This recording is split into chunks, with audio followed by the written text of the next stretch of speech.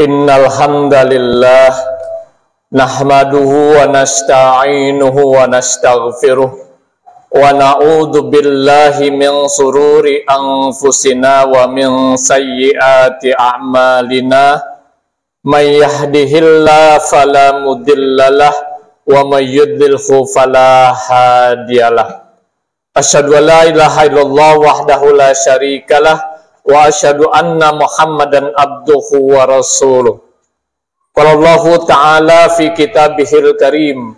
A'udzu billahi minasyaitonir rajim. Bismillahirrahmanirrahim. Ya ayyuhalladzina amanu taqullaha tuqatih wa la illa wa antum muslimun.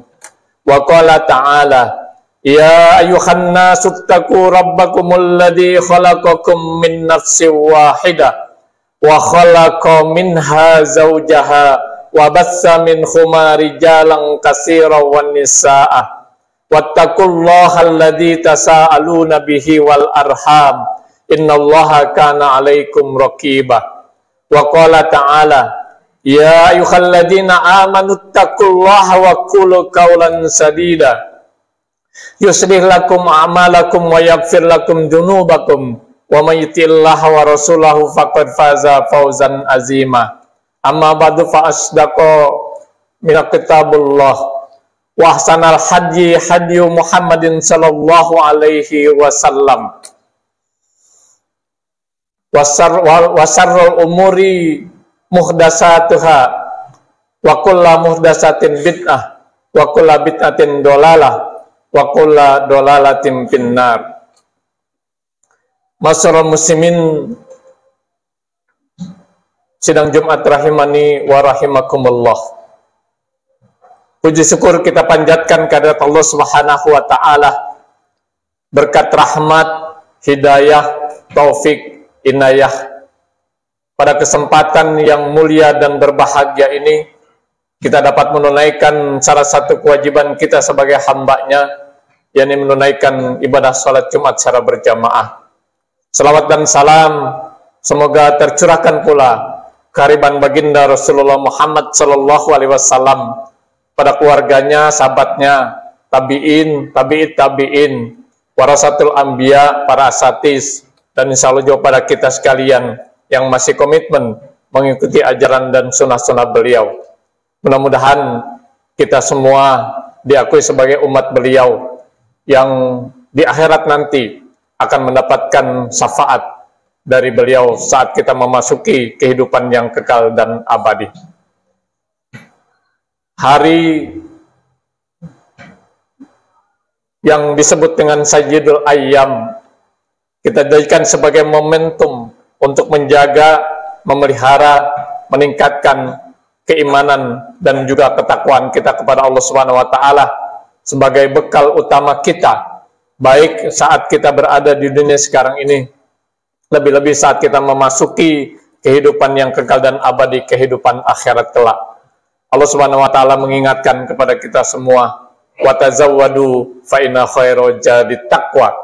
Berbekalah kamu dan sebaik-baiknya bekal itu adalah takwa kepada Allah Subhanahu wa taala. Tema khutbah Jumat kita hari ini saya sampaikan tentang peduli kepada anak-anak yatim dan kaum duafa.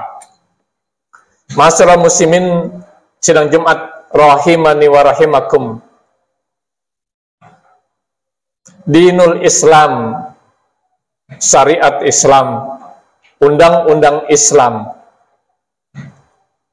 bukan hanya mengatur hubungan manusia kepada Allah tetapi juga mengatur hubungan manusia kepada sesama manusia dan juga mengatur hubungan manusia kepada alam sekitar. Dinul Islam, syariat Islam, undang-undang Islam adalah sistem hidup yang sangat lengkap dan sempurna. Dari kita bangun tidur sampai kita mau tidur lagi, bahkan dalam tidur itu sendiri sudah ada aturannya dalam Islam. Rasulullah mengungkapkannya dengan suatu sabdanya al-islamu ya'lu wa la alaih. Bahwa ajaran Islam itu tinggi. Tidak ada satu ajaran pun yang dapat menandingi ketinggi dan kesempurnaan daripada Islam. Termasuk juga Islam sudah mengatur bagaimana kepedulian kita kepada anak-anak yatim dan kepedulian kita kepada kaum duafa. Itu juga sudah ada aturannya dalam Islam. Hadirin sedang Jumat rahimakumullah. Di dalam Quran surat Al-Ma'mun Allah Subhanahu wa taala sangat keras mengecap kita sebagai pendusta agama ketika kita tidak peduli kepada anak-anak yatim dan kaum duafa. Sebagaimana ditegaskan dalam surat Al-Maun, A'udzubillahi minasyaitonirrajim, Bismillahirrahmanirrahim. Ara'aital ladzi yukazzibu biddin? Tahukah kamu orang yang mendustakan agama? Fadzalikal ladzi yad'ul yatim, yaitu orang-orang yang menghadik anak-anak yatim. Wala yakhuddu ala tu'amil miskin dan tidak menganjurkan memberi makan kepada orang-orang miskin. Hadirin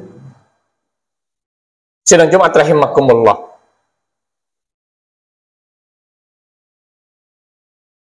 Begitu kita peduli kepada anak-anak yatim, Baginda Rasulullah Shallallahu Alaihi Wasallam menjanjikan kita akan berdampingan dengan beliau di akhirat kelak. Sebagaimana diungkapkan dalam satu hadis, ana wakafilul yatimi fil jannati hakada kata Rasulullah. Saya dan orang-orang yang peduli kepada anak-anak yatim di akhirat nanti seperti ini. Sambil merapatkan kedua jarinya. Artinya berdampingan dengan baginda Rasulullah Muhammad Shallallahu Alaihi Wasallam. Karenanya agar kita tidak dicap sebagai pendusta agama, kita harus peduli kepada anak-anak yatim dan juga kepada kaum duafa.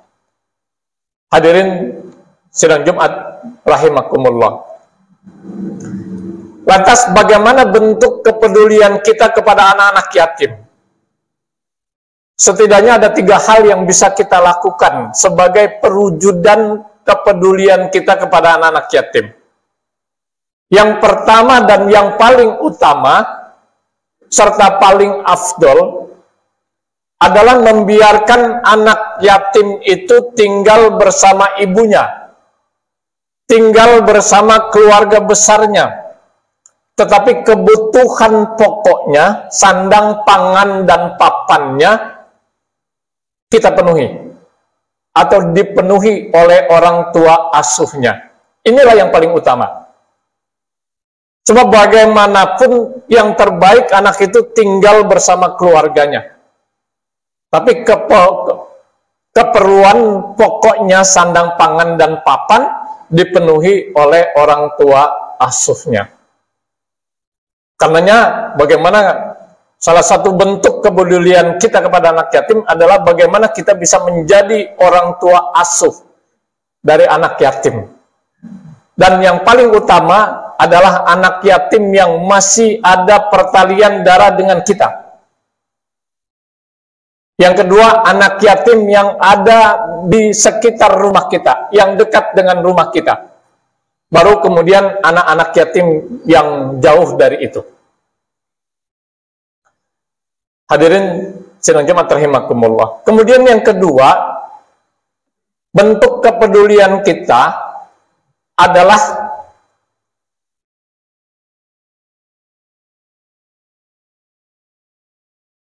menjadikan anak yatim itu sebagai salah satu anggota keluarga dari orang tua asuhnya. Tinggal bersama keluarga orang tua asuhnya Hal ini ketika keluarga anak yatim itu sudah tidak peduli terhadap dirinya.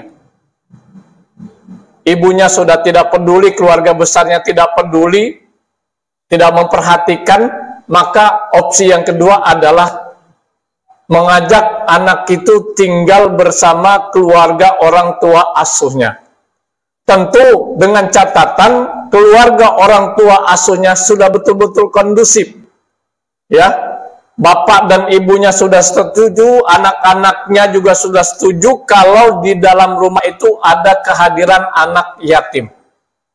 Dan seluruh kebutuhan pokoknya, sandang pangan dan papannya juga dipenuhi oleh keluarga tersebut.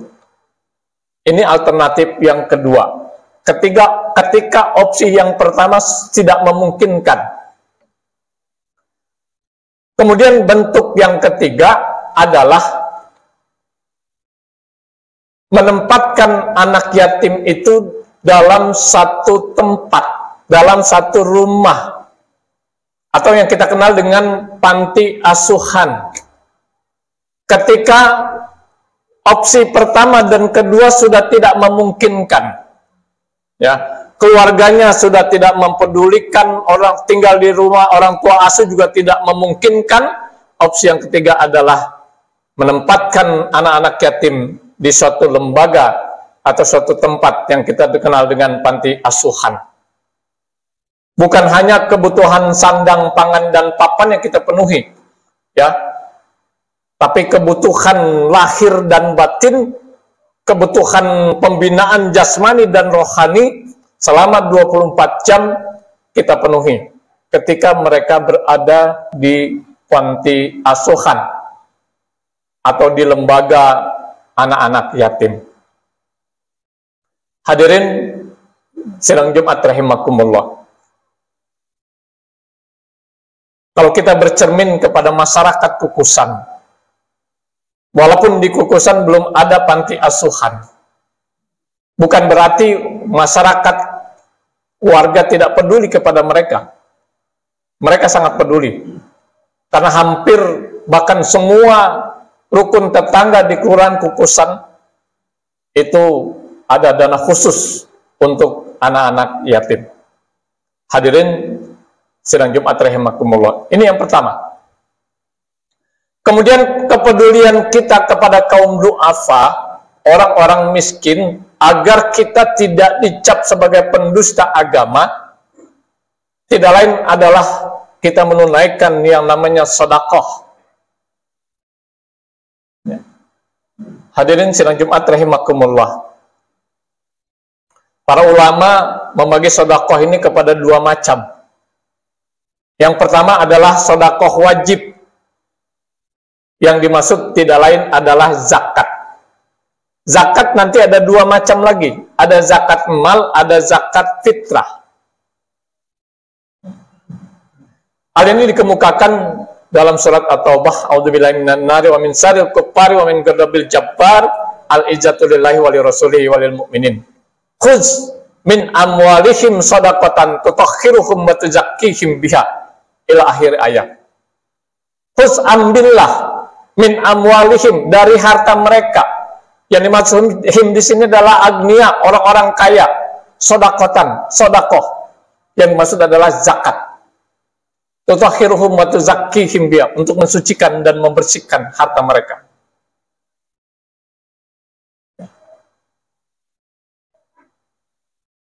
Nah, kemudian yang kedua adalah sedekah sunnah. Yang dimaksud sedekah sunnah tidak lain adalah infak. Harta yang kita sisihkan untuk kepentingan di jalan Allah di luar zakat itulah infak. Bukan lantas kalau kita sudah berjakat secara otomatis kita sudah berinfak, tidak. Kita berinfak dari harta yang sudah kita keluarkan zakatnya. Bukan dari zakat yang kita keluarkan. Dan jangan dikira infak yang kita keluarkan hilang percuma, tidak. Bahkan inilah yang akan yang hakikatnya betul-betul harta kita dan akan dilipat gandakan oleh Allah Subhanahu wa taala menjadi 700 kali lipat bahkan lebih. Sebagaimana dikemukakan dalam surat Al-Baqarah ayat 261, Bismillahirrahmanirrahim. Masalul ladina yunfikuna amwalahum fi sabilillah kama salihabatin ambatat sab'a sanabila fi kulli sumbulatin mi'at habbah. Wallahu yudhi'u liman yasha wallahu wasi'un alim. Yang terakhir, kalau kita hanya berbicara sodakoh, maknanya lebih luas lagi. Karena sodakoh bukan hanya berkaitan dengan materi, tetapi juga berkaitan dengan immateri. Mudah-mudahan bila dua hal ini kita peduli kepada anak-anak yatim dan kepada peduli juga kepada kaum duafa, kita akan terbebas dari cap pendusta agama sebagaimana yang dikemukakan Allah dalam surat Al-Maun dan mudah-mudahan dengan demikian Allah Subhanahu wa taala akan senantiasa memberkahi segala rezeki kita dan memberkahi segala kehidupan dan aktivitas kita. Barakallah wa Qur'anil azim wa nafa'ani wa iyyakum bima fihi minal ayati wa dzikril hakim wa taqabbal minni wa minkum tilawatahu innahu huwal ghafurur rahim.